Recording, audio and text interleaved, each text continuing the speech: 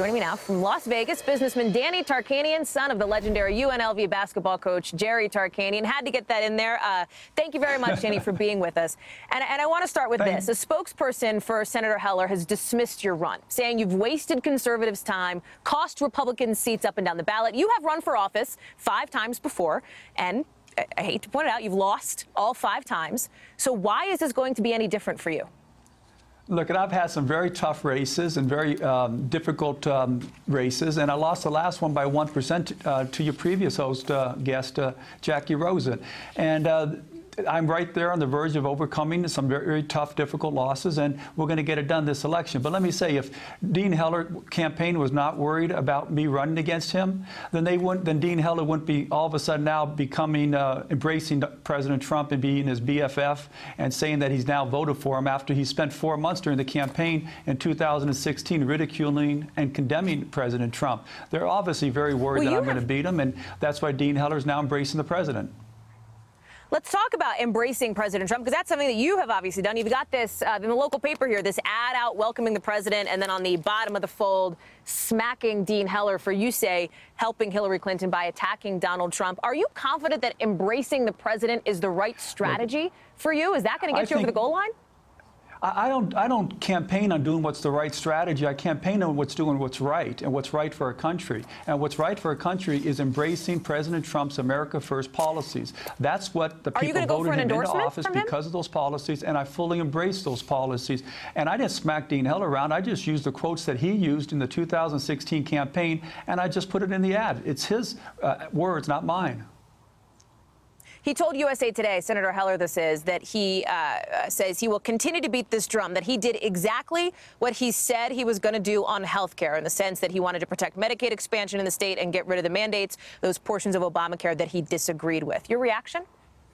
Uh, hell, completely out of touch with what's wrong with Obamacare. The problem with Obamacare is what it's doing to the hardworking middle-class Americans that have seen their premiums, like my family. My family's premiums have gone up 300%. Our deductibles have gone up 500%. My son had a stroke two years ago, and now he sees a specialist, uh, several specialists, three times a, uh, a year. And we got to pay $150 just to walk through the door to see a specialist when it used to be $25.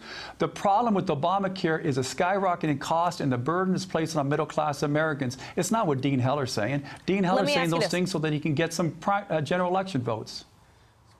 You, uh, when we talk about the president being here, you have said some things recently that have made a lot of headlines, specifically the idea that the president is correct, essentially, that, that both sides are to blame. When he said many sides are to blame for the Charlottesville violence. Uh, this puts you on a little bit of an island. There have been very few Republicans who have come out to support the president in his initial response to Charlottesville. I know this morning you have doubled down on that position. Do you really think that very fine people, some of them marched with neo Nazis and white supremacists in Charlottesville? Look, it's disappointing that Republicans would jump on what the mainstream media is making uh, out of this story when there's nothing there. It's not doubling down, it's just saying the truth. Donald Trump said that both sides well, were to blame Danny, for that I'm event. Point you back. Who could, disagree, point you back to the who question, could disagree with that when you had one Did of the on the left side have a flamethrower trying to burn the rioters? Come on now. Let me, let me redirect you to the question way. here. Let me yeah. redirect you to the question here about very fine people, as the president says he believes marched yeah. with neo Nazis in Charlottesville. Do you do you also believe that, that? That's the second quote that you said. And yeah, I, I have no idea who, who um, marched in Charlottesville. I would assume the president knows better than you know. Do you know who everybody who marched in Charlottesville? What the president was trying ask, to say was there was some, now, let me finish this for one second. You asked, Danny, me, well, you asked me to be on. Can I please finish? You, well, then, sure, there, absolutely. There were you people, the president was saying answer, there were, ahead. The president was saying that there were some people that were not, not part of the KKK, white supremacists and others, that were just marching because they didn't want to see a statue of Robert E. Lee taken down. A lot of people in the South revere Robert E. Lee, and there may have been some good people that were not part of this white supremacist group that were also marching. Do you know otherwise? Do you know everybody that marched and know Before, that there was well, none of them So let me ask you people? this. If you're marching, yeah. let me ask you this. If you're marching for this statue as you said, and somebody pulls out the KKK symbols and pulls out a neo-Nazi flag. Do you keep marching? No, of course not. I know. But how do you know where the people were at or, or what the whole um, march group was about there? You know, it was a large group. What about the other side that was having the bats and the urine and the feces and the, and the flamethrower and the things that they did?